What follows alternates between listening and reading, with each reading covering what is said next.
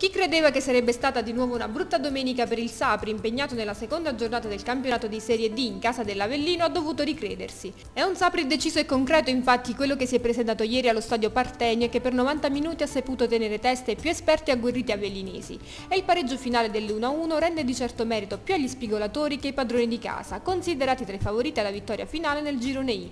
Così come emerge dalle parole del mister bianco-azzurro Carmine Pugliese, il quale sintetizza la prestazione dei suoi uomini con un lapidario ma efficace, abbiamo saputo soffrire e aspettare il momento opportuno. E il momento opportuno è stata la rete di Ferraro che all'undicesimo del secondo tempo ha regalato il pareggio al Sapri. Ottima anche la domenica del Valdiano che allo stadio di Monte San Giacomo ha sconfitto per 3-1 il Banzi, archiviando prepotentemente la prima vittoria del riavviato campionato di eccellenza lucana.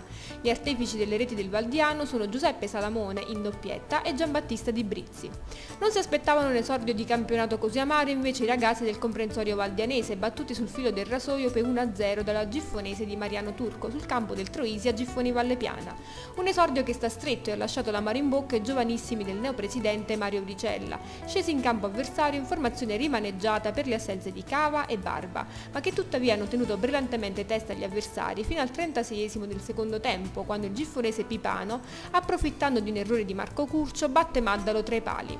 Un risultato però che all'indomani della gara non fa di certo scoraggiare il mister Terenzio De Lauso, il quale si dice fiducioso per le prossime gare a partire da quella di sabato prossimo con lo Sporting Casalvelino.